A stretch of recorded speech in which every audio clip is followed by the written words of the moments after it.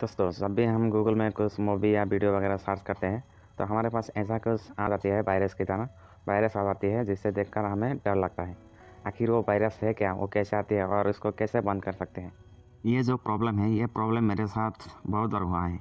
ऐसा ऑप्शन मेरे सामने बहुत बार आया हुआ है। जब भी मैं कुछ सर्च करने के लिए जाती हूँ गूगल पे तो ऐसा वार्निंग या वायरस दिखाई देता है मुझे। तो मैं तो पहले डर गई थी, यार यार, ये हो क्या रहा है? तो फिर इसके बारे में मैंने बहुत जानकारी ली गूगल में जाके कि आखिर ये है क्या, ये कैसे आती है और इसका सॉल्यूशन क्या है, तब जाके मुझे ये सॉल्यूशन मिला। इसलिए सोचा कि आप लोगों के लिए एक वीडियो बना के तो पूरा जानने के लिए वीडियो का अंत तक देखिए, तब आपको समझ में आएगा।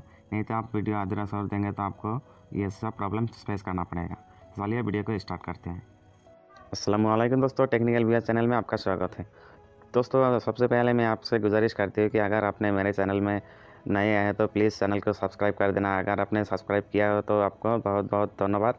सबसे पहले मैं आपको बता देता हूँ कि यह वायरस नहीं है क्योंकि जब भी कोई कंपनी का कोई ऐप लॉन्च होता है ऐसा है वो एडवर्टाइज करते हैं। ये डिजिटल एडवर्टाइजमेंट है ये एडवर्टाइजमेंट के लिए वो आती है कि ताकि लोग डाउनलोड करें इसको। तो इसलिए मैं कहता हूँ इसको जब भी ये आए तो आपको घबराने की कोई ज़रूरत नहीं है। इसको बंद कैसे करना है चलिए हम सीखते हैं। सबसे पहले हमें क्रोम ब्राउज़र में जाना है मोबाइल के क्रोम ब्राउज़र में। क्रोम ब्राउज़र ओपन करने के बाद ऊपर जो तीन डॉट दिख रहा है थ्री डॉट थ्री डॉट के ऊपर क्लिक करना है। नीचे दिख रहा है सेटिंग का ऑप्शन सेटिंग ऑप्शन में क्लिक करना है। फिर इसको नीचे स्क्रॉल करके, नीचे देखना है हमें सेटिंग का और साइट का। नीचे जो दिख रहा है साइट सेटिंग इसको हमें क्लिक करना है। इसको क्लिक करने के बाद हमें दिख रहा है कुछ नोटिफिकेशन दिख रहा है। जैसे कि नीचे जो दिख रहा है एड्स एड्स का जो ऑप्शन है या ब्लॉक ऑन साम साइट दिख रहा है। इसका हमें क्लिक करना है। क्लिक करने के बाद आपको अगर ऐसे ही अलावा आया रहेगा तो आपको क्या करना है ऑफ़ करके देना है।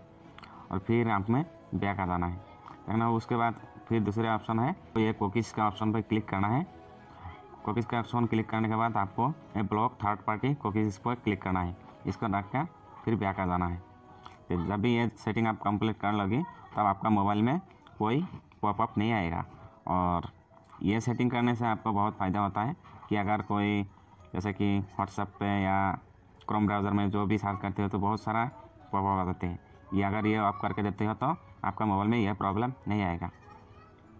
तो आज के लिए इतना ही दोस्तों। अगर वीडियो अच्छा लगे तो प्लीज़ लाइक कमेंट शेयर करना मत भूलिएगा। और आखिर में मेरे चैनल को सब्सक्राइब कर देना। Thanks for watching and bye bye